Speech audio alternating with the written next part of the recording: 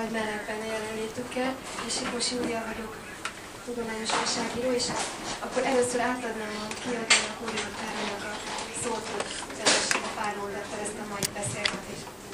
Köszönöm szépen. Sok szeretettel köszöntöm az egybegyűlteket. Külön öröm itt köszönteni a Hány barátod is van című könyv szerzőit, Trér Csabát, Unoka Zsoltot, és ne felejtsük el Benán Esztert, aki a közönség soraiban ül. És nagyon szépen szeretném megköszönni Sipos Júliának, hogy elvállalta a mai könyvben mutatót, és át is adom a szót. Köszönöm szépen. Biztos mindenkinek feltűnt, hogy ennek a könyvnek mennyire direkt a címe. Tehát nem szofisztikált módon közelíti meg bonyolult szakkifejezésekkel a témát, hanem önmagában már ez a kérdés is melbevágja az embert, hogy akkor most itt miről is van szó, és egy percre, úgy önvizsgálatra is készteti az ember. Ez egy több szerzős kötet, talán tíz ö, szerzős, több tanulmányból áll, de a lényege mégiscsak az, hogy az elmúlt 15 évben már eljutott oda a hálózatkutatás, és majd mindjárt szó lesz arról, hogy a hálózatkutatásnak is kétféle iránya van, hogy vizsgálati módszerek után letegyen, letegyen az asztalra egy, egy ilyen könyvet, ami nagyon közelről és nagyon konkrét módszertannal és szerteágazóval, szerteágazóan járja körül egyébként azt a témát, amit mi már a digitális világ bevándorlói, vagy éppen benszülöttei, de mindenképpen pontosan tudunk, hogy ez nagyon komoly kérdéseket vet fel az emberről, ez az új technológia, ez az új világ, mégpedig arról az emberről, akit úgy hívnak a kötetben is egyébként, hogy homo networkiensis, tehát a, a, a hálózatban ö, élő ember. És akkor bár szívesen tenném én is, hogy ennyire ö, ahogy szokták mondani, belecsapjak a lecsóba, hogy ez a, ez a könyv címe teszi, hogy hány barátod is van, de mégsem teszem, mert azért az előzményekről is érdemes kicsit beszélni, nevezetesen, hogy a, volt már itt azért a, a pszichológiában is, meg a szociológiában is egy olyan fajta ö, hálózatkutatás ö, jóval régebben, amit egyébként szociometriának hívtak. Ezt én, mint történelmi előzményt azért megemlítendőnek tartom, már csak azért is, mert maga Mérei Ferenc is művelte. Mi az, ami a, volt a szociometria, és az a fajta hálózatkutatás miben tér el, amiben önök munkálkodtak, Précsa? Hát a, a hagyományos szociálpszichológusok, amikor lektorálják a cikkeinket, akkor számon is szokták írni, hogy mi nem szociometriát csinálunk. Ennek nagyon fontos oka van, és valójában a szociometriáról a mai mondjuk így, hogy az énhez kapcsolódó kapcsolatokat feltáró módszerek eltérése az a, az utóbbi 70-80 év társadalmi változásait is tükrözi. Nagyon egyszerűen fogalmazva, mindenki emlékszik még, sokan vagytok, akik emlékeztek, mert az én korszám vagytok, mások meg sokkal fiatalabbak, meg látják a gyerekeiknél. Csak egy példát véve, hogyan szerveződött 50 évvel ezelőtt, amikor én egyetemre jártam, az egyetemi élet. Emlékeztek rá? Egyetemi csoportok voltak. A csoportok rendkívül fontos egységek voltak, például a CSOPVEZ adta az ösztöndíjat. KP fizette minden harmadikán és így tovább. Konkrét emberek összetartoztak valahogyan, akár csak az iskolai osztályok, de ugyanígy volt a munkahelyek szerveződése és így tovább. A szociometria olyan típusú módszer volt, ami nem Sipos Juliára vagy Unoka Zsoltra koncentrált, aki a kapcsolatokat maga körül hordozza, hanem arra, hogy egy-egy egység, egy egyetemi csoport, egy kórházi osztály, egy tanterem, és így tovább, érzelmi, és később ugye mére kiterjeszti más irányba is, de most nem akarok a részletekbe elveszni, a csoportnak milyen a szerkezete. Igazából a társadalom individualizálódik. Nagyon sokat lehet ezt kritizálni, filozófálni, most nem akarunk erről beszélni, mert mi nem társadalomreformerek vagyunk, hanem azt akarom csak mondani, hogy az a technikai változás, hogy igen, arra voltunk kíváncsiak, hogy ebből a konkrét osztályból kivel szeretnél együtt sátorozni, ma meg azt kérdezzük technikailag, hogy mondd már meg, hogy egyáltalán kik azok a barátai, akikkel megosztanád azt, hogy nincs pénzed, vagy ott hozott a barát. Nem ezek közül, akikkel együtt vagy az osztályban, és így tovább. Tehát ma a hangsúly azonban, hogy, hogy Faur Anna, vagy Oriolt Károly milyen érzelmi burkokkal a feje körül mozog a világba, minden idejében az volt a kérdés, hogy egy iskolai osztály széteső vagy koherens és így tovább.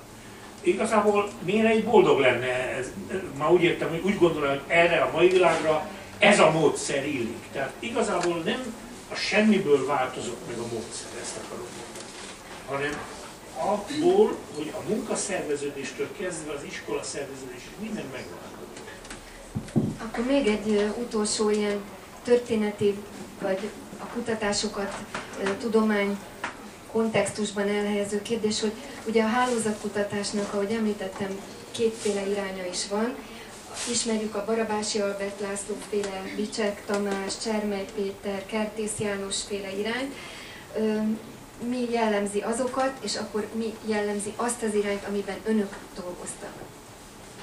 Hát nyilván van egy harmadik közbülső irány is, de nagyon egyszerűen maradjunk azt minket érdeklő pszichológiai problémát. A kertészék egy híres tanulmánya kb. 4 milliárd, 4 milliárd telefonhívás elemzéséből, nagyon elegáns tanulmány valahol Science-re vagy a Nature-ben jelent meg, 4 milliárd hívás elemzéséből ugye hát a telefon szolgáltató csak olyan adatokat ad meg, hogy milyen korú, meg milyen nemű van az, aki regisztrált egy mobil szolgáltatónál. Arra az óriási eredményre jut, hogy az 50-60 közötti nők igen gyakran preferáltan beszélgetnek egy 30-40 közötti másik nővel. A cikk utolsó mondata, talán a lányok. és megszületett az unoka. És mi azt mondjuk a Lacinak, meg a Kertész Jánosnak, mi nagyon jó barátok vagyunk, hogy mi fordítva járunk el, megkérdezzük, hogy ki az, akivel beszélgetsz, Vera néni, nem a lányod esetleg? Ez jelenti a különbség, tehát hogy mi nem az anonim viszonyokból indulunk ki, az etikai eljárások is emiatt mások, mi konkrétan a személyeket úgy arra kérjük, hogy konkrét másik személyeket nézzenek meg, hogy kis Vera az nagy Máriával beszélget sokat, és utána el kell nekünk higgye, hogy mi etikailag törölni fogjuk ezeket az adatokat, de mi a konkrét személyekre kérdezzük, míg a, a nagy hálózatok emberi már nagy hálózatok szemlélet emberekre való alkalmazása az dezindividualizált, tehát nem érdekli a konkrét Az egyik kulcs szereplő, vagy főhős ennek a, a tudományos kötetnek egy Dunbar nevű brit antropológus, ki ő, és mi az a bizonyos Dunbar szám, a Dunbar szám eredete. nagyon érdekes tudós Dunbar, mert nem csak antropológus, hanem régész is, és primatológus is, és, és kognitív tudományokat is műveli, és neki az volt az egyik ilyen nagy elmélete, nagyon sok más elmélete volt, például úrkászlás és a nyelv kapcsolata. De ebben az elméletében azt vizsgálta, hogy hogy a főemlősök által alkotott csoportok és a neokortex mérete közötti összefüggést próbálta extrapolálni az emberi neokortex méretére, és hogy annak alapján meghatározott egy csoport létszámot, és ez lenne mondjuk egy olyan 150 fő, és ezt a 150 főt aztán további alcsoportokra osztotta, és ezek közül a legbelsőbb kör, amit mi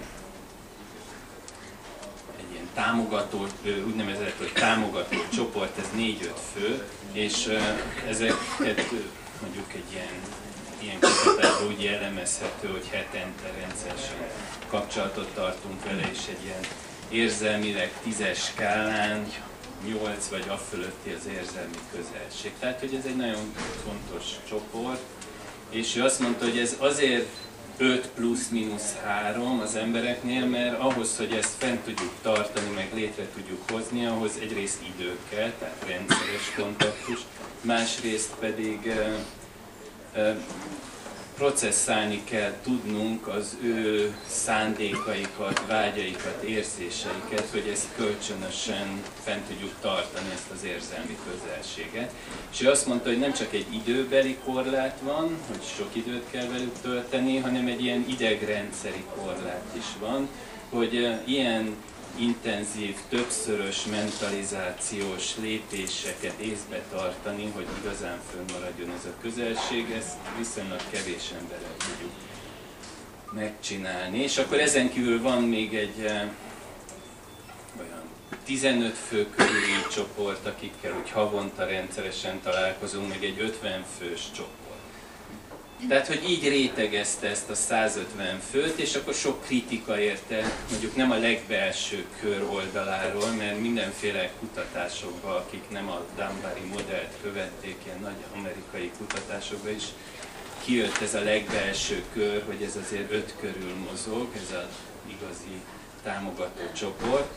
De viszont a külső kör, hát kritizálták, hogy a Facebookon van, akinek két-három ezer ismerőse van, de aztán a kritikusokkal szemben mi állításokban azért, amikor megvizsgálták, hogy ebből a több ezer fős Facebookos baráti körből hány az, akivel ilyen szimmetrikus viszony van, tehát hogy ő is lájkol téged, te is lájkolod őt, és üzensz neki, vagy csettelésbe kezdesz, akkor egyből kiderült, hogy ez a több ezer fő, ez megint csak visszazsugorodik olyan 100-300 közé. Tehát ugye körül sok a vita, hogy azt lehetne mondani, hogy maga ez a, ez a technológia kibővíti a lehetőségét, tehát ezt a neurobiológiai korlátot felszabadítja, meg az időbeli korlátot, de kiderült, hogy mégsem. Tehát hiába van ez a lehetőségünk, hogy lehetne százezer Facebook ismerős, hogy elég sok időt töltünk ezzel, és vannak is ilyen emberek, akik ezt megcsinálják, de mégse tudjuk ezt csinálni, vagy ugye a Facebookon van az a lehetőség, hogy volt iskolatársak, bejelölnek, stb. stb. Pláne az ember idősebb az életének különböző szakaszaiból rengeteg ember előbukkan, és akkor van egy-két csetelés, egy-két ilyen megjegyzés, posztolás, még egy ideig lájkoljuk, és aztán itt szépen visszamegy a nullára, és marad az a viszonylag... Amikor azt írja, hogy azért te sem nézel Jó, tehát hogy mondjuk ezek a Dambari számok, tehát a Dambari elméletenél sokkal gazdagabb. De például az egy nagyon fontos tényező, hogy, hogy van egy ilyen perspektívaváltásos mentalizációs teszt, ez az Imposing Memory Task-nak hívják, és ilyen feladatok vannak benne, hogy mit tudom én, Faur Anna és Babarci Eszter üdvözölték itt egymást, viszont előtte a Csaba mondott valamit a Faur Annáról nekem, és nekem meg a Babarci Eszter mondott valamit a Csabáról, hogy milyen a viszonya a Faur Annával, és a többi, és a többi, és akkor vannak ilyen tehát, hogy ő azt gondolja róla, aki azt gondolja róla, aki azt gondolja róla, aki azt gondolja róla, és akkor ennek a bonyolultsági fokát általában az öt fölött már elbuknak. Mondjuk egy ember, átlag ember olyan három-négyig bírja, öt fölött már elbuknak. Van, vannak olyan magyar tudósok, például a Dunbar egyik munkatársa, aki azt mondja, hogy például az operába azért lehet növelni ezt a viszonyoknak a számát, mert ott a zenei és a dramaturgiai, meg a szövegbeli aláfestés megkönnyíti ezeket a paralel viszonyulásokat processzálni. De mondjuk ahol nincs ilyen több csatornás kezelése az érzelmeknek, például egy sima regénybe, az emberek nagyon hamar leteszik az olyan könyveket, ahol ilyen ötszörös mentalizációs lépést kéne észbe találni. És akik minél magasabb ilyen lépésszámot tudnak észbe tartani, tehát a, a első, másod, harmad, negyedfokú mentalizációt, azoknál azt találták, hogy azoknak annál nagyobb ez a belső kör. És a, tulajdonképpen a, a kérdés, ami most mondjuk nekem, mint laikusnak nagyon evidens kérdés, hogy egy kialakult személyiségre hogyan hat a háló, hogyan oldódik fel a kapcsolatok sokaságában, és amit viszont önök is feltettek kérdést a könyvben, hogy mi biztosítja azt, hogy ne legyünk csavarok egy gépezetben, hogyan maradhat meg az individualitás a hálózatok világában, és mi véd meg a puszta konformizmustól. Hát jó, hát ennek van egy ilyen társadalom filozófiai oldala, erre nem nagyon tudok válaszolni, de vagy vannak meggyőződéseim, de én visszakanyarodnék még egy picit arra, amit Zsolt a érzelmi beruházás és a mentalizációról mondott, hogy emellett, megint ha pszichológiailag nézzük, akkor a ember mondjuk baráti köreinek van egy sajátos emlékezeti gazdálkodási korlátja is. És nagyon érdekes a modern technológia, meg a hagyományos rendszerünk közötti kapcsolat.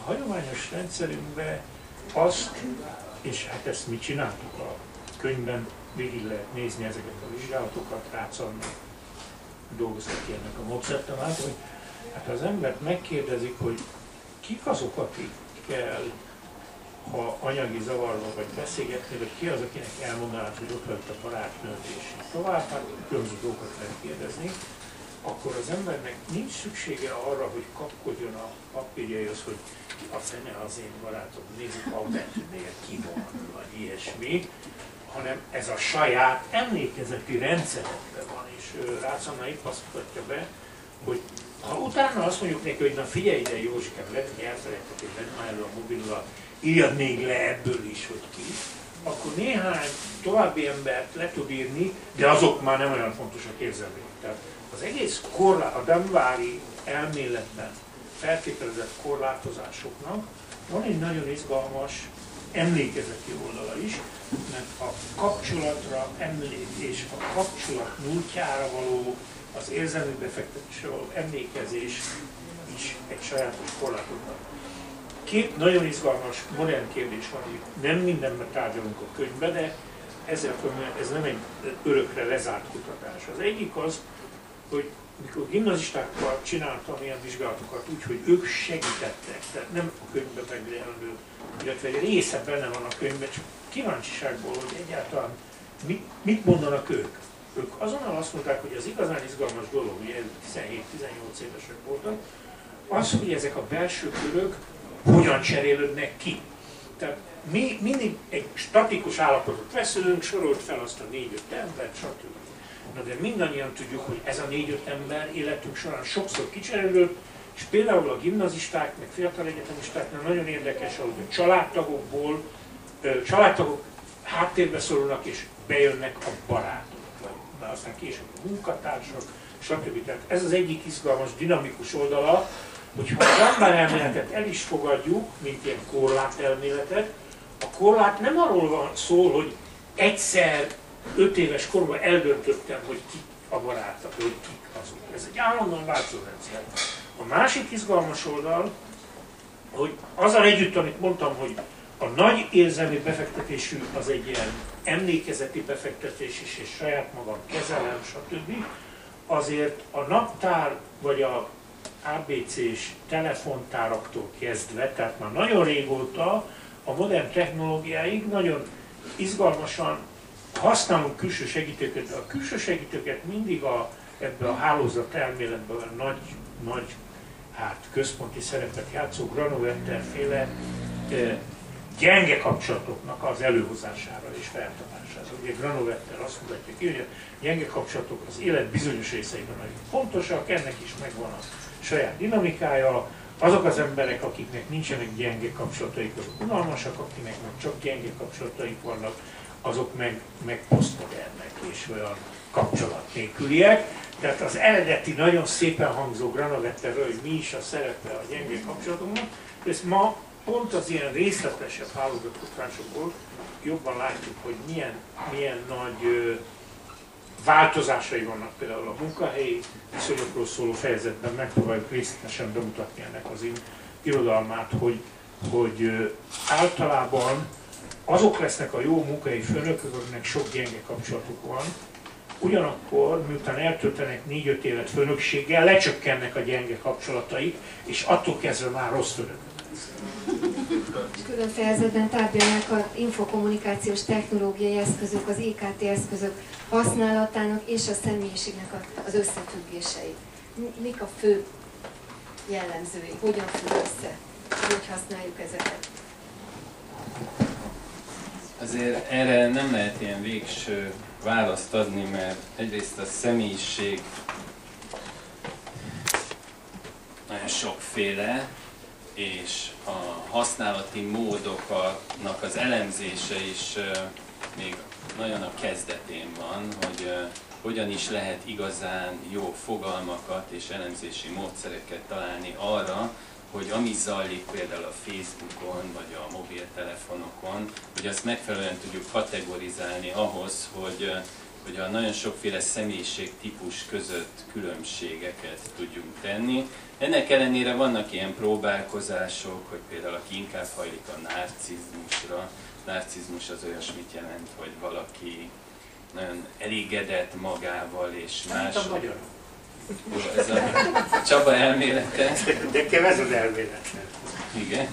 Csabának az az elmélete, hogy legalábbis a bemondók, vagy nem a bemondók, például a futball közvetítők, mondjuk ez pont a magyar meccs előtt beszélgettem a Csabával erről, és nekem is feltűnt, hogy hogy jön ahhoz a két közvetítő, hogy a csodálatos kapusunk ról úgy poénkodja mindig, hogy na, kis mackó, nadrágos, meg ilyesmi. Tehát, hogy nincs meg az az elemi tisztelet, meg az a fajta ilyen elgondolás benne, hogy ő hol van ehhez az emberhez képest ebben a kontextusban.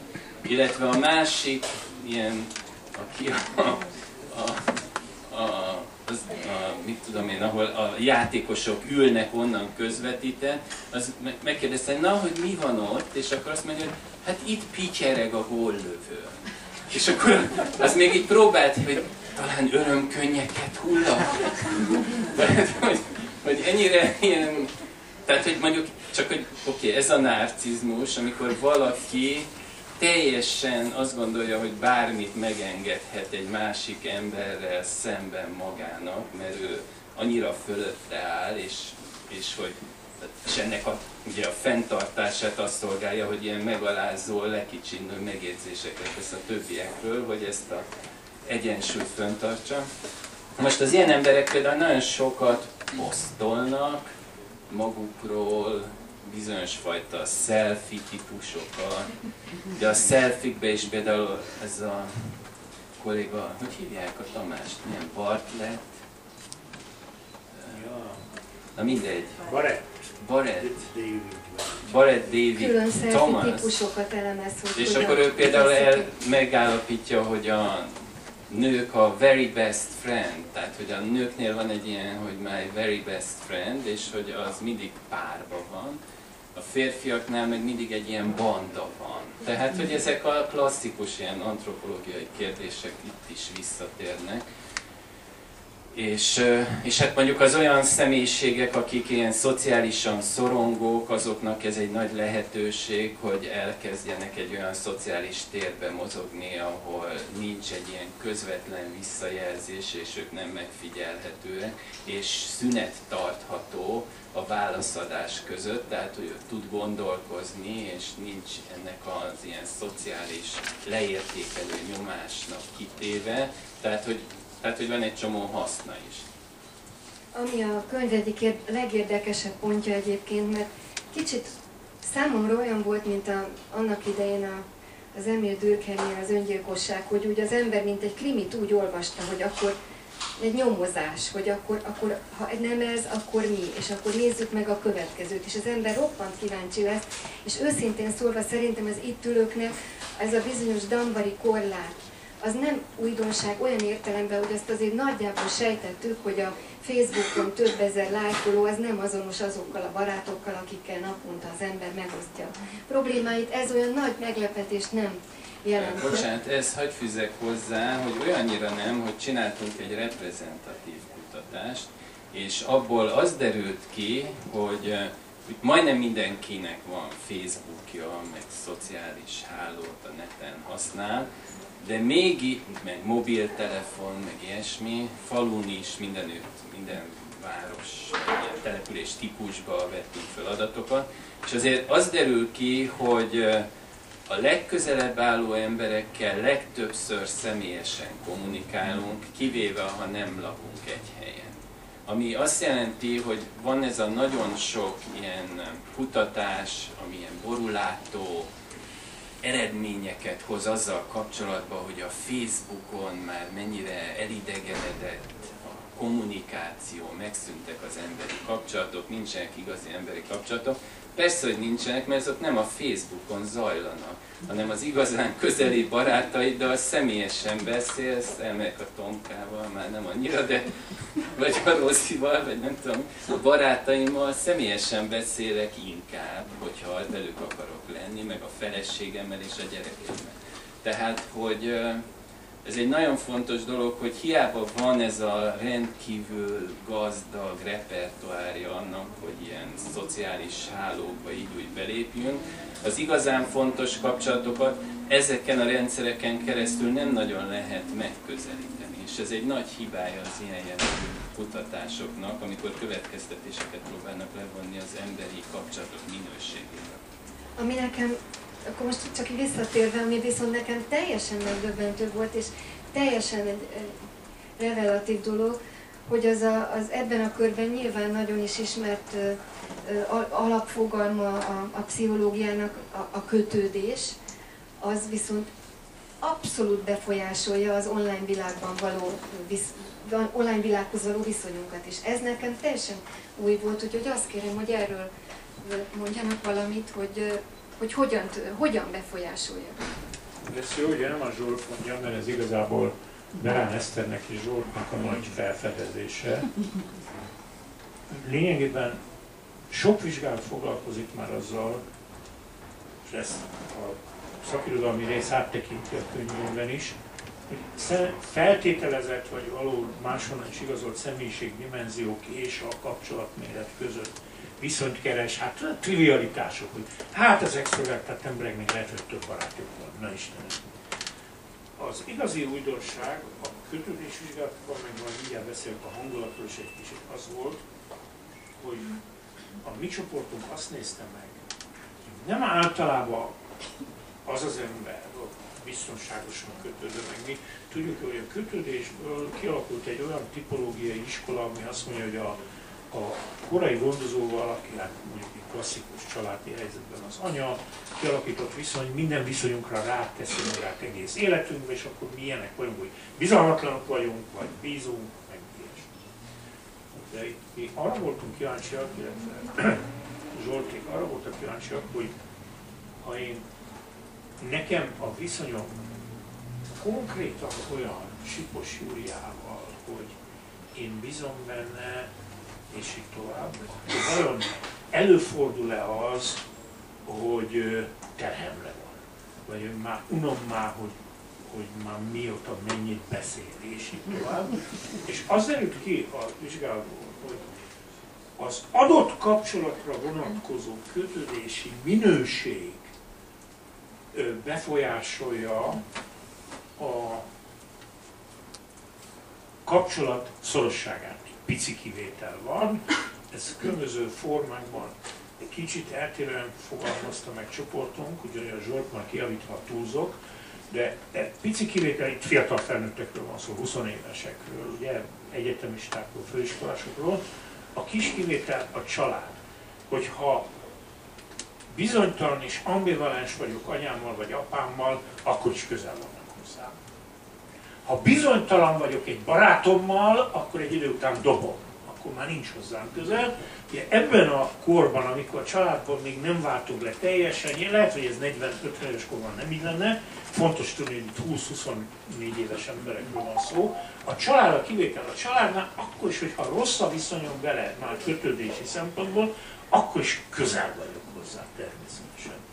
Na most a hangulatot is megnéztük ilyen szempontból, az elsőbb a Soltis Péter és Kardos Péter munkája, és ott is az derül ki, hogy a konkrét személye való konkrét kapcsolatom hangulata az, hogy baromira unatkozom, amikor együtt vagyok vele, vagy nagyon feldobott vagyok, vagy nyugodt vagyok, ilyesmi.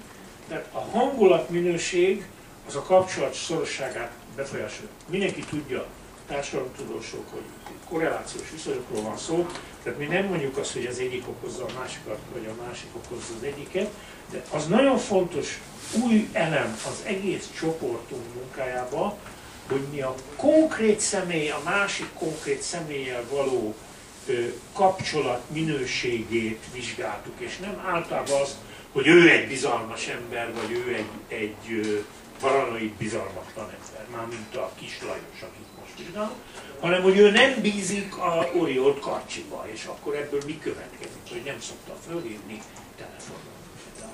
Igen, de akkor sem teljesen evidens az, az a bonyolult összefüggés, hogy egy, egy csecsemőkorban kialakuló, ugye az anyánkkal való ö, kapcsolat hogyan hat ki aztán arra, hogy én milyen Facebook használó vagyok. Tehát erről kérem, hogy mondj, mondj valamit Zsolt, mert ez, ez, ez szerintem tényleg egy abszolút felfedezésetek. Mert a kutatásnak egy nagy eredmény. hanem ez egy nagy kutatási téma, amit nagyon sok ember kutat. Hát mondjuk erről, hogy még, még talán ehhez kapcsolódóan, amit a Csaba mondott, hogy a szülőkhöz akkor is közel állunk, ha nem találkozunk velük eleget. Tehát amit az elején mondtunk, hogy időt kell rászánni, hogy, hogy ez egy nagyon érdekes dolog, hogy ez a barátokkal is így van, vagy bárkivel, akivel befektettünk kellő számú időt és érzelmi interakciót az életünk bármely szakaszába, ott viszont kialakul ez a nagyon erős kapcsolat, hogy ebbe a belső körbe bekerül, és még hogyha tíz év múlva találkoznak újra, akkor is megvan ez. Tehát, hogy ez egy nagyon érdekes dolog, és hát ugye ez van a szülőknél is, és hogy mi ráadásul egy olyan modellt használunk, mert a kötődés elméletnek van egy nagyon elterjedt monotropikus modellje, ami azt jelenti, hogy a gyerek a gondozójával, hát ez lehet az anya, vagy tudom én, a nevelőnő, vagy akivel sokat van, azzal való interakcióba kialakul egy olyan viszonya, mert itt van egy ilyen velünk született design az elménkben, meg sajnos a felnőttek elméjében nem mindig van úgy, ami olyan, hogy üvöltök, ha baj van, most a csecsemérről beszélek, és akkor jön ez a nagy izé, és rendet tesz. Mondjuk ez a biztonságos kötődés, van értelme üvölteni, mert az a izé az mindig jót csinál. És akkor ez így egész életünkben így van, akkor, akkor ez egy biztonságos kötődési modell, hogy ha bajba vagyok, szólhatok a megfelelő embereknek, mert remélem, eleve az van a fejemben, hogy arra mindig jön egy megfelelő válasz, és ők jól fognak reagálni. Ez értető? És akkor, de van, aki, például van egy ilyen nagyon érdekes, ilyen elkerülő kötődésű ember, hogy üvölt a csecsemő, és akkor az anyja meg így, hú, nem bírom. és hogyha ezt sokszor csinálja az anya, akkor a csecsemő rájön, hogy sokkal érdemesebb nem üvölteni, hát ha rájön magától, de sokkal többet tudok vele lenni, a nem üvöltök, mert ha üvöltök, akkor bevisz a második szobába az ágyba, és amíg abban nem hagyom az üvöltés, meg se jelenik. És akkor ez mondjuk ez egy olyan tanulási folyamat, ami, ami nek nem olyan tudatában, csak ez úgy jelenik meg a mindennapokban, ha rosszul érzem magam, véletlenül sem mondom meg a partneremnek, hogy mit szeretnék mert az baromi veszélyes, baromi ideges lesz, és kimegy a szobából, vagy azt mondja, hogy na jó, ebből nekem elegem van. Tehát ez érthető, ez egy kétfajta kötődési modell, most már világos. Ez, ez világos. És akkor mondjuk ez úgy jelenik meg a neten, hogy akik ilyen biztonságosan kötődnek, a Csaba beszélt ugye a szoros kapcsolatokról, meg a granovetteri ilyen laza kapcsolatokról, azért ne felejtsük el, hogy hogy Dunbar és mindenki, aki ilyen kapcsolatokról beszél, azért itt van egy olyan, hogy mindez azért az erőforrásokról szól, kétféle erőforrásról, kaja, pénz, pia, nem tudom mi, meg a érzelmi erőforrás, figyelem, szeretet, ölelés, gondoskodás, stb. Tehát, hogy azért ezeknek a hálóknak a fenntartását és szerveződését nagyon erősen mozgatja ez az erőforrásokért való küzdelem, és hogy az az érdekes, hogy aki biztos, vagy ez nem az érdekes, hanem evidens, hogy a biztonságosan kötődőek a neten nagyon exploratívak, nagyon sokféle gyenge kapcsolatot is képesek kialakítani, és nagyon sokféle ilyen érzelmi erőforrást is be tudnak gyűjteni a szociális hálón belül. Tehát ezt a közeli, szeretetteli erőforrásokat is begyűjti. Míg egy bizonytalanul kötődő, ugye a kötődésben az van, hogyha biztonságosan kötődik a gyerek, és akkor tudja, hogy bármi van, anyám, apám ott van. És akkor onnan elmer menni, fölmeri fedezni a világot, mert a baj van, majd füttyentek és ugranak a szüleim, vagy átutalják a bankszámlára megfelelő összeget, bejárom Indiát, Afrikát, ez értető? Viszont aki ilyen bizonytanul kötődik, ebben nem bízik, tehát gyerekkorban sem mer explorálni, és ugyanez megmutatkozik felnőttkorban a Facebookon való viselkedésébe is, hogy kevesebb gyenge kapcsolatot köt, és a, az érzelmi erőforrásokat is csak egy nagyon szub körbe tudja elnyerni.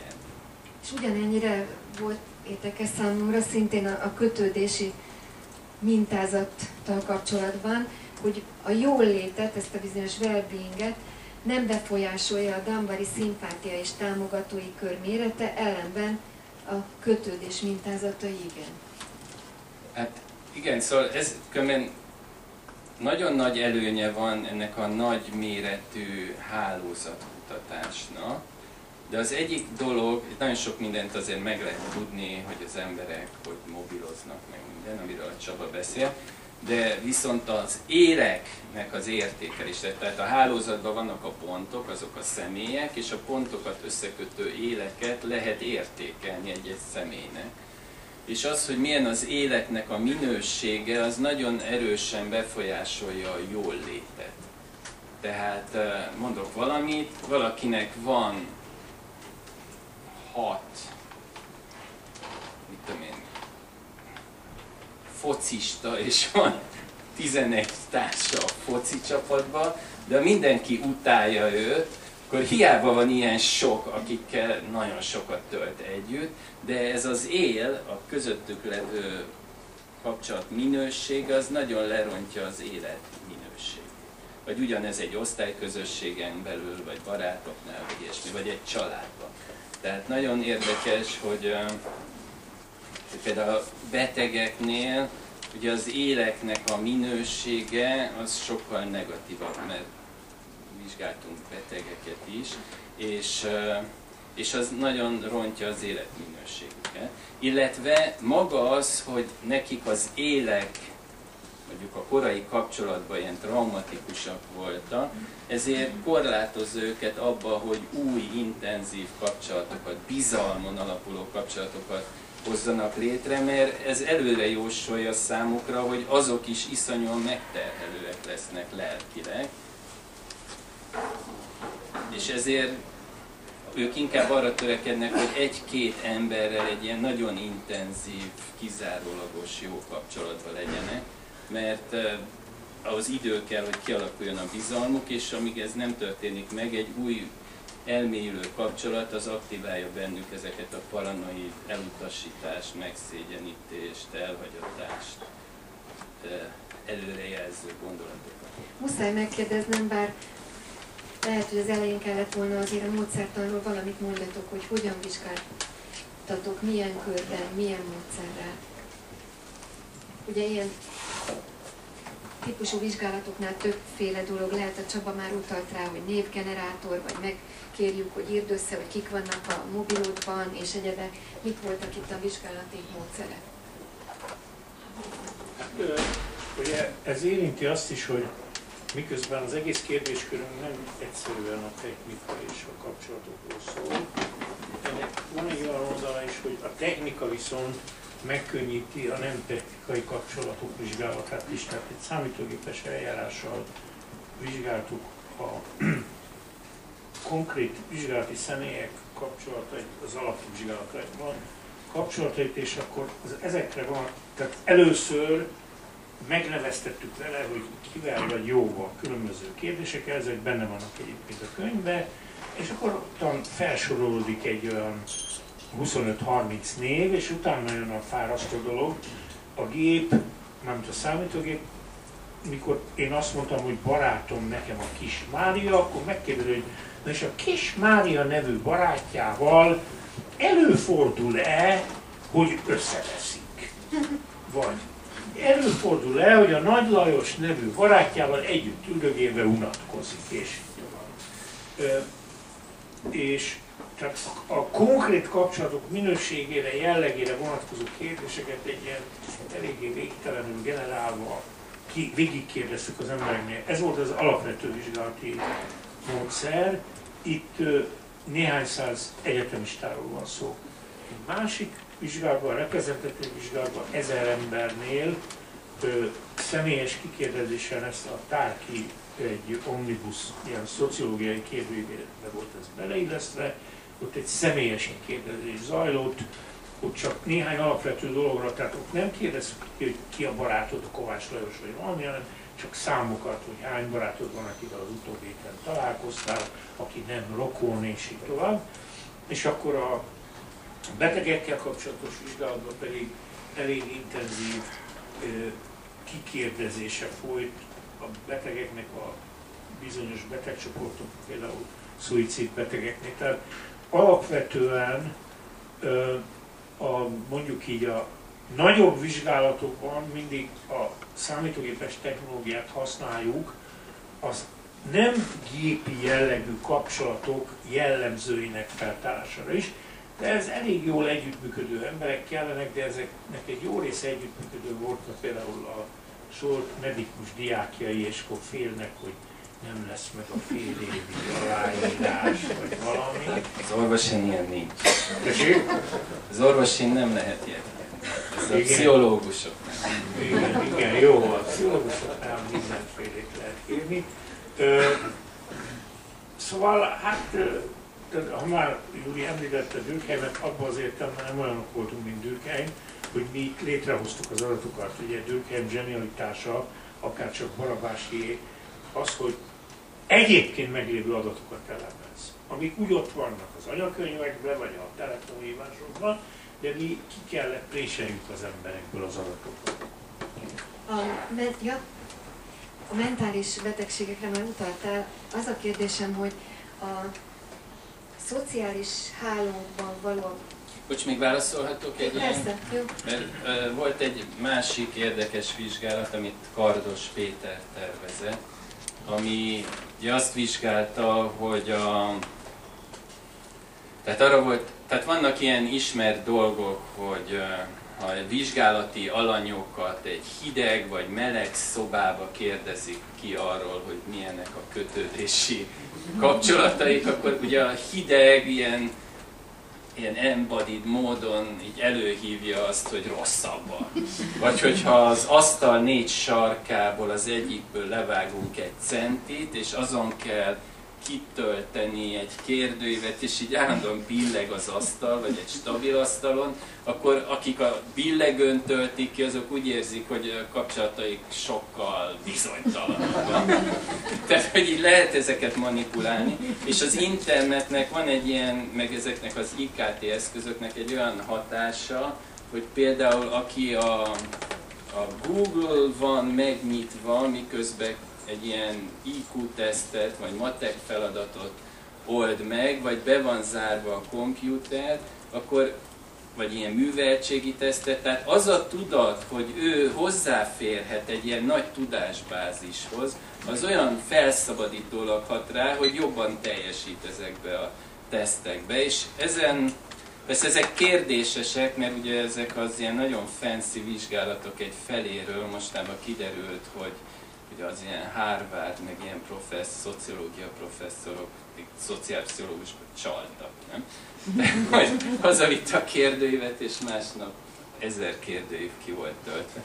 De, de azért van ezekben valami, és mi is vizsgáltunk egy olyat, hogy maga az, hogy megkértük a vizsgálati alanyokat, hogy, hogy írják le, hogy a pénztárcájuk hogy néz ki, illetve hogy írja a másik vizsgálati csoportnak, hogy írja le, hogy a mobilja hogy néz ki, és utána kérdeztünk meg kérdéseket az ilyen szociális kapcsolatairól, meg a biztonságérzetéről, meg ilyen, akkor az derült ki, hogy igen, meg ilyen szavak voltak, hogy, szóból hiányzik néhány betű, például... Család vagy csalán. Vagy cselé, család, cselé, csalán. Tehát sokféleképpen ki lehet beírni a magánhangzókat, és akiknél, akiknél a mobiljukról kellett leírást adniuk, azok inkább ilyen társas módon, tehát ők inkább a családot írták, a család, a cselét helyett, vagy a mi volt a másik? Na, mi? Család. Család, a család az nem, az nem D-re végződik. Na és akkor, és tehát, hogy ez is egy olyan, hogy maga ezek az információ technológiai eszközök hozzáférhetőségének a tudata, az teljesen megváltoztatja azt a reprezentációt, ami bennünk van arról, hogy az emberekkel milyen a viszonyunk. Hát ez egy ilyen, inkább egy ilyen kísérleti módszertani vizsgálat, csak el akartam mondani, mert Érdekes. Azt, azt, azt szerettem volna kérdezni, mert majd persze átadom a szót a kérdezőknek, csak még gyorsan két dolgot. Az egyik, hogy a mentális betegségekre te rá tudsz jönni, vagy, vagy kiderülnek különböző mentális betegségek az online viselkedésünkből, tehát az, az én Facebookozásomból, vagy mobiltelefonálási szokásaimból, tehát az online világba való, szociális hálóba való mozgásból tudtok erre következtetni? Hát mondjuk én ilyeneket nem csinálok, de a mai információtechnológiai lehetőségek, hogy rengeteg adat van mindenkiről, és van egy ilyen tudom, big data gondolat, hogy, hogy ezt a rengeteg adatot, ha elemezzük, és hogy annak az embernek az életébe kijelölünk ilyen számunkra fontos eseményeket, akkor ebből a rengeteg adatból lehet ilyen prediktív modelleket alkotni, hogy meg tudja jósolni, hogy valaki most halad az öngyilkosság felé, vagy valaki kezd depressziós lenni, vagy mániás lenni, vagy valaki, tudom én, szívinfarktust fog kapni egy-két napon belül, vagy kezd eh, az agyi keringése romlani. És mi most egy ilyen EU-s grantba benne vagyunk, ahol egy ilyet építünk, ahol ugye ezt én is, lehet, hogy én voltam tudatlan, mielőtt ezt elkezdtem, de ugye a mobilunkban van egy ilyen gyroszkóp, tehát, hogy az így, eh, mondjuk, hogyha így fogom, akkor az érzékeli, hogy három irányba hogy mozdul el a kezem, milyen sebességgel. Tehát érzékeli például, hogy mennyire remeg a kezem. Érzékeli, hogy mennyit mozgok. Ugye a lépésszámláló, én is nézem, tízezer lépésnek meg kell lenni, azt mondta a kardiológusom, azt mindig nézem a mobilomba, de van benne egy GPS is, hogy merre vagyok és hol vagyok, mennyit mozdulok ki a lakásból és hova. Azon kívül ugye meg lehet nézni, hogy hány SMS-t kapok, hány SMS-t küldök, hány hívást adok, hány hívást küldök. A beszélgetésbe ki kezdeményezi a dialógust, ki beszél többet, én vagy a másik, milyen hangerővel, milyen intonációval, mennyit vagyok a fényen, mennyit vagyok az árnyékban, persze, hogyha zsebre tudom, ez egy probléma. És tehát ez rengeteg adat hozzáférhető rólunk a neten, és ezeket például a beszélgetéseket a tartalom meghallgatása nélkül is tudják elemezni, tehát ezt le lehet tiltani. Tehát úgy tudja valaki elemezni az én telefonbeszélgetéseimet, hogy nem hallgatják meg, csak ezeket a mutatókat nézik, a többit ki, kizárják. Na és ez a rengeteg adat, ami folyamatosan gyűlik rólunk, és akkor még a Facebook, meg ilyesmiről nem is beszéltem, csak a mobilról, és még nem is beszéltem az okosóráról, amiben lehetnek bőrellenállást mérő dolgok, például csomó okosórában van, ami azt jelenti, hogy ha stresszbe vagyok, csökken a bőrellenállásom, vagy szívritmust mérő minden okosórában van, hőmérsékletet mérő, minden okos órában van. Tehát, hogy mindezek az adatok gyűlnek rólunk, és ezek alapján, tehát ez már a jelen, hogy nagyon sok mindent meg lehet állapítani valakiről. Mi például egy olyanon dolgozunk, hogy, hogy egy pszichotikus embernek a állapot romlása, van egy ilyen, hogy prodromális szakasz, mielőtt pszichotikus lesz, azelőtt néhány héttel, hónappal megváltozik egy csomó viselkedési mutatója. Hogy, hogy ilyen prediktív, egyénre szabott prediktív modellt építünk ki ezen adatokból annak az egyénnek a számára, és ilyenkor lehet neki előre szólni, hogy figyelj, valami kezdődik, gyere be, beszéljünk róla, akármit csináljunk valamit. Tehát, hogy ez már a jelen és a közeljövő. Már csak az a kérdésem, hogy ugye azt hiszem, hogy a könyvben is írtátok valahol, hogy a hálózati információk világának kétféle megítélését ismerjük, az optimista, aki úgy véli, hogy a tudás demokráciája, jött el vele, korábban elérhetetlen tudásokhoz férünk gyorsan hozzá, és saját terveink szerint kombináljuk ezeket, illetve a pessimista, akik azt mondják, hogy a háló valójában a vélekedések és a vértudások világa, ahol egyre nagyobb probléma az autenticitás, illetve hát egy másik kérdés, hogy gyógyít vagy betegít ez az internet. Ez a csapat. ja nem, hát szóval mi ilyen közepesen optimisták vagyunk, és én mindig azt szoktam elmondani, bocsánatot kérek, aki hallotta, ugyanolyan probléma ez a társadalomtudomány számára, mint annak idején Cervantes számára az olvasás volt, ugye nagyon szépen leírta Don quixote a virtualitás, ugye valóságnak levő lovag, aki, akit a én meg utána néztem, akkor, amikor Cervantes írja a Don Quixote, a nyomtatás még csak száz éves volt. Egy borzasztó új dolog volt. És már arról ír, hogy hülyék lesznek. De azok eltelt 400 év, túléltük, túléltük. Ugye nem lett mindenkiből Don Quixote. Most szerintem ma ugyanilyen helyzetben vagyunk ezeknek az új tudáshordozó megkapcsolatteremtő technológiáknak a világával.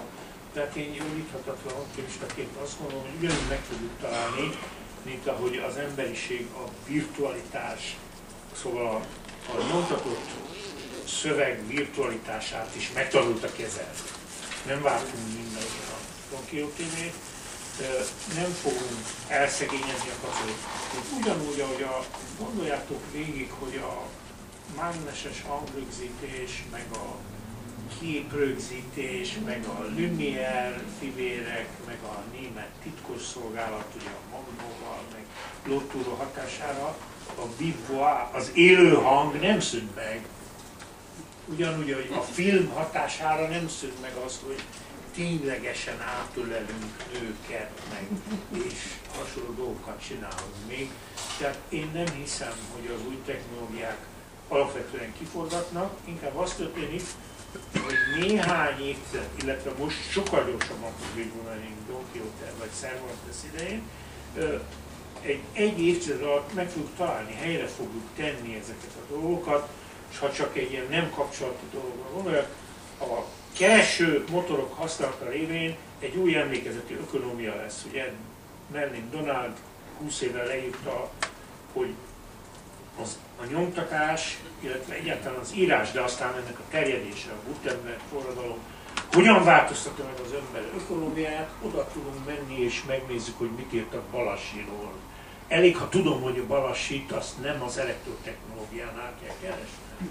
Azért valamit kell tudnom. Na most ezek az új technológiák ugyanígy meg fogják találni a helyét. Én optimista vagyok.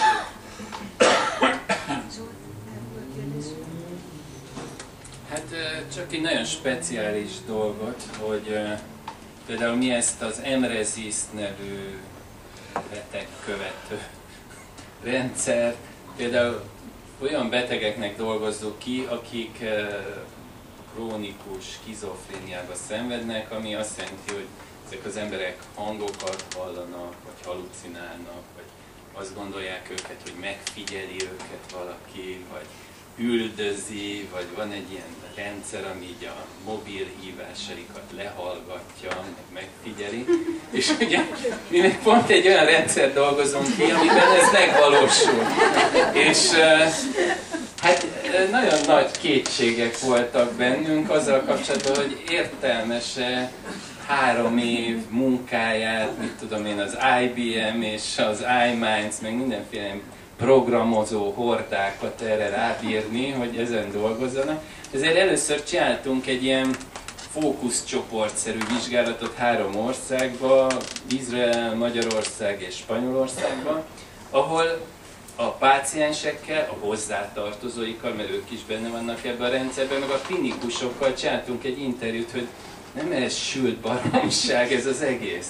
És az volt a meglepő számunkra, és persze jó hír, hogy a páciensek nagyon nyitottak voltak erre, és nagyon örültek, hogy foglalkoznak velük és segítenek. És akkor végül is ugye arról van szó, hogy van egy jó szándékú megfigyelő, aki, aki segítő módon megfigyel, de abszolút nyitottak voltak rá. Tehát ez is egy olyan dolog, hogy van egy ilyen technológia, amivel kapcsolatban mondjuk egy ilyen átlag klinikus, mint én, elkezd szorongani, hogy ez a technológiához mit fog szólni egy másik ember, aki ugyanolyan ember, mint én, csak néha hangokat hall, meg néha azt gondolja, hogy üldözik, és hát ő is ugyanúgy viszonyul hozzá, mint én, hogy úgy de jó lesz egy kütyű, meg karomon is lesz, meg izé, lehet vele egy csomó mindent csinálni, segít.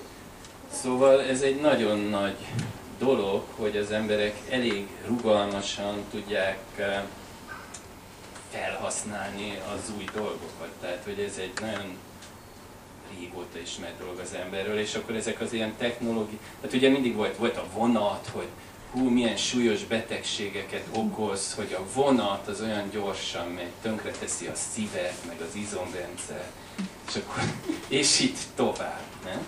Persze, és, te- technika történetből tudjuk a, a társadalmi reakciókat. Vagy hogy, hogy a valóságról megváltozik a kép, hogy mégis képesek vagyunk nagyon messzire kommunikálni.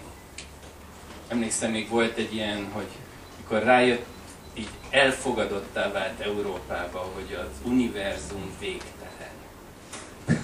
Tehát, hogy nem csak ez a kis bolygónk van, meg a kis planéták körülöttünk, akkor iszonyú sok ember nagyon depressziós lett. Hát mondjuk nyilván ez egy szűk réteget érintett, ezt, ez a hír eljutott, de hogy ez annyira megrázó dolog volt, hogy tényleg nagyon sok embernek nehéz volt feldolgozni, de azt hiszem manapság már csak egy-két ilyen amerikai közösség hiszi azt, hogy nem így van, meg hogy a föld lapos, meg ilyesmi. Donald Trump.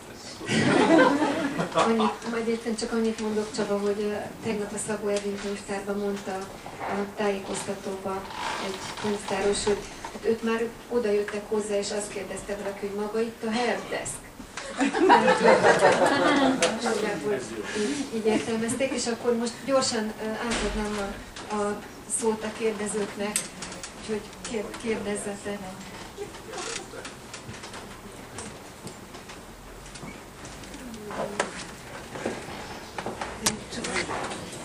Nem, nem ér el oda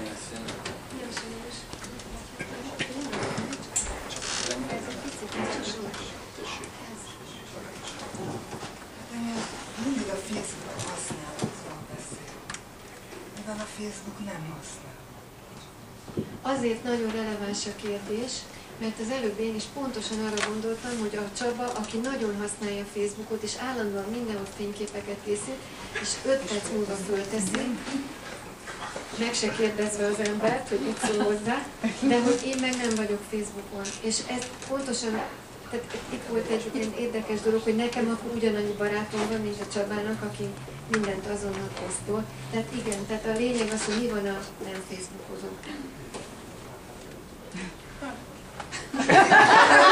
Rögvinen van, én egyébként a Facebookot ugyanígy használom, mint számos más dolgot.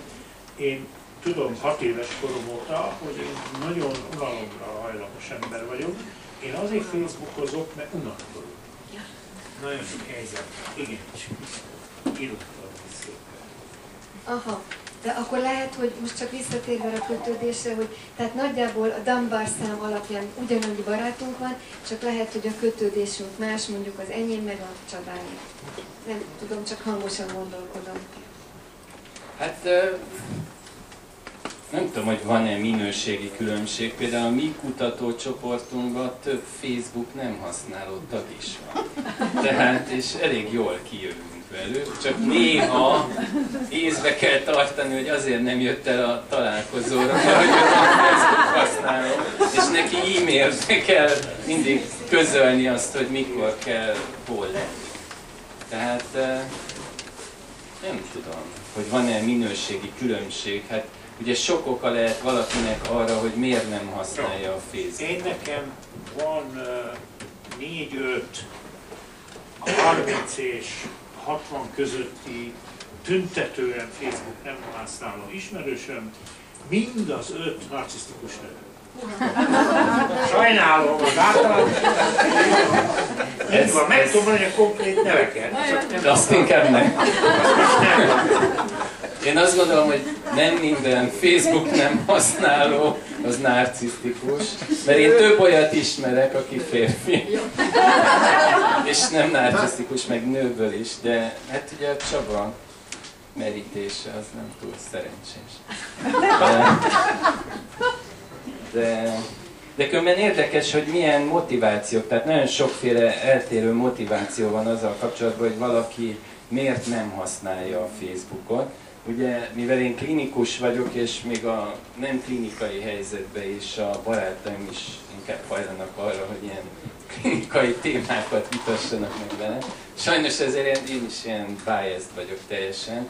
De a legtöbb ember, akivel én beszéltem, és nem Facebook használó, az abban van egy olyan óvatosság azzal kapcsolatban, hogy róla kontrollálhatatlanul kik mit tudhatnak meg.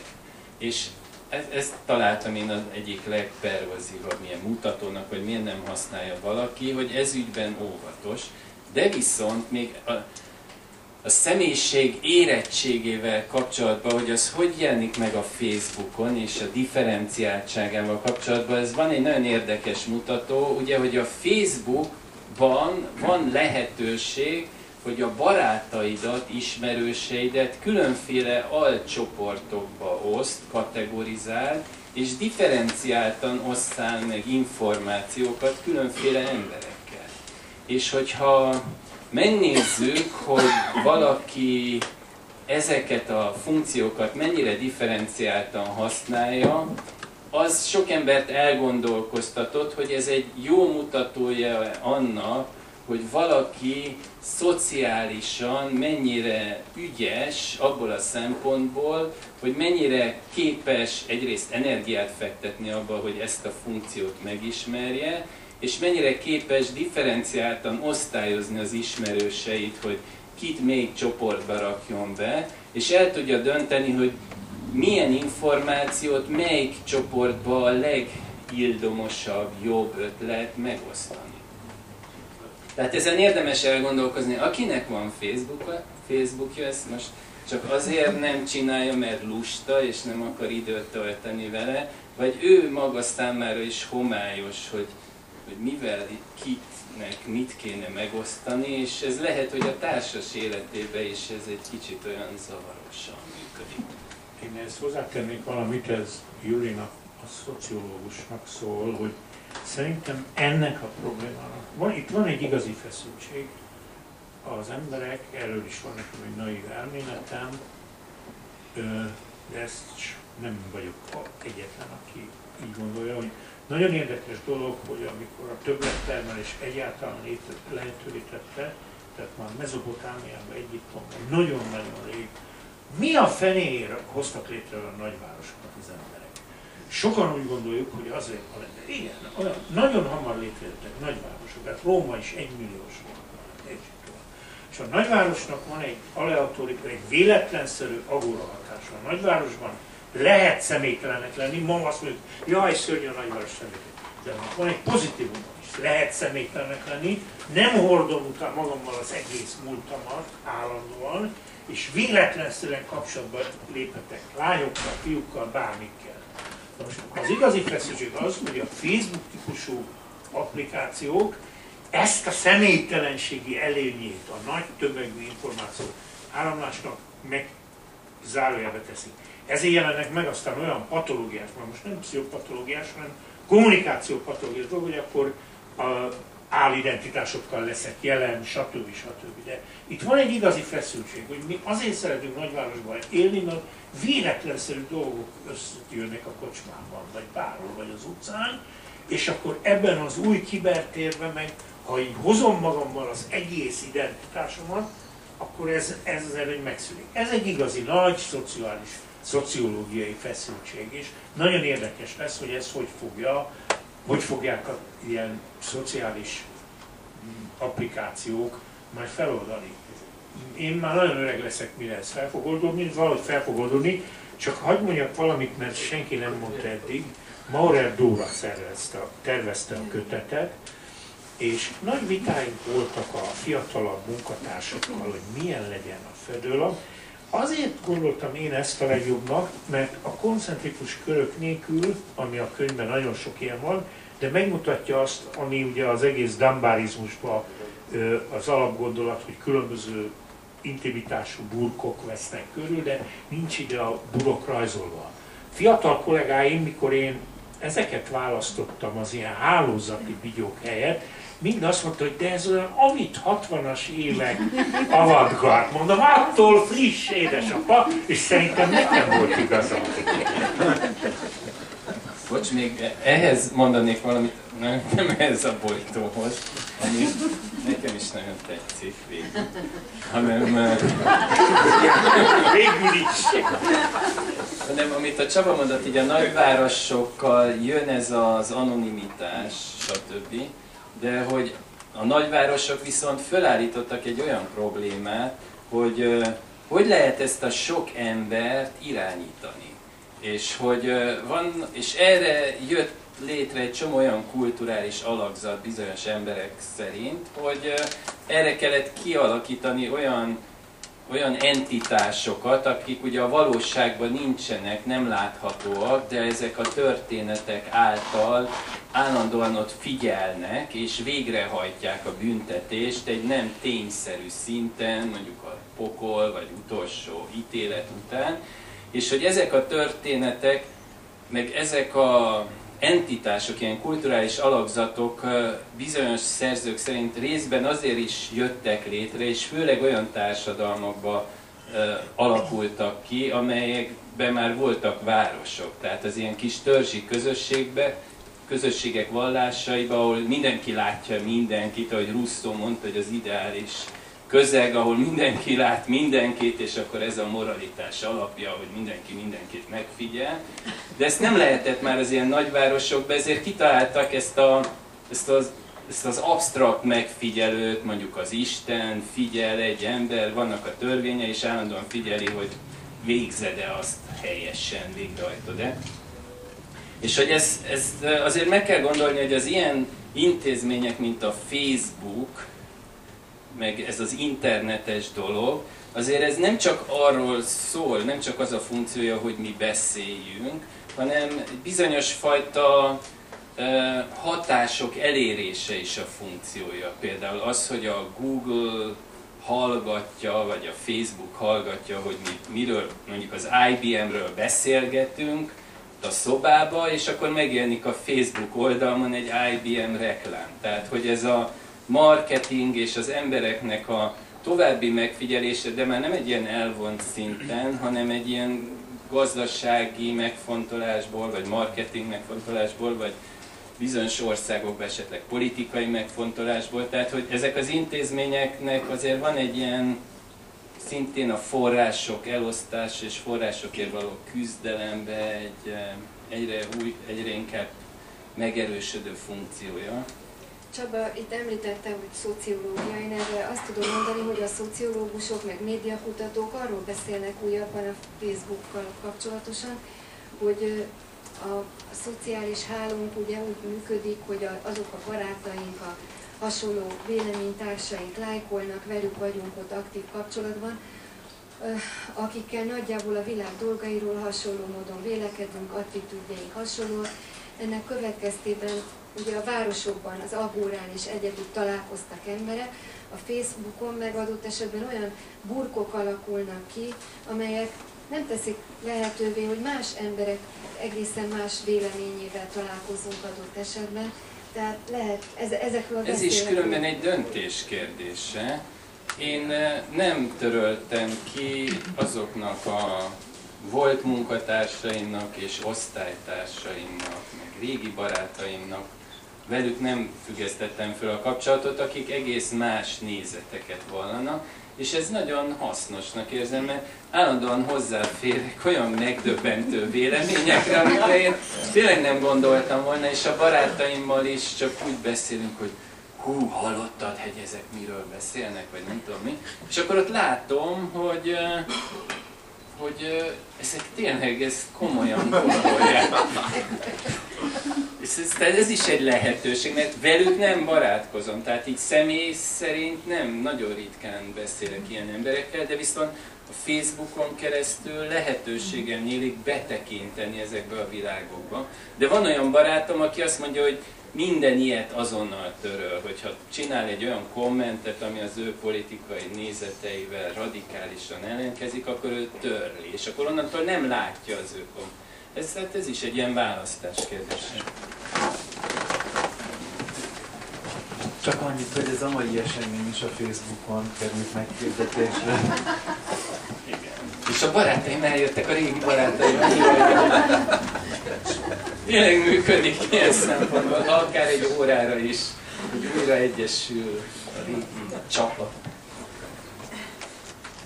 Én nagyon szépen köszönöm akkor, hogy eljöttetek, meg végig itt voltatok velünk, és a könyvet ugye ismeritek, láttátok le, megkapható, és ja, csak mondom, ez ugyan nem a Orion Ma dedikálás, dedikálás lesz, Ma ingyen. dedikálás lesz, de mivel gondolom pszichológia iránt érdeklődök, annak itt elmondom, hogy a Kelet nevű kávézóban holnap este 5-kor viszont a pszichológiai szemle legújabb számáról fogunk beszélgetni, ami az IKT eszközök használatáról szól gyakorlatilag az arról folyó kutatások találhatóak meg a pszichológiai szemében. Úgyhogy most meg aki dedikált szeretne, vagy dedikált, akkor várjuk itt szeretettel, és köszönöm szépen a figyelmet.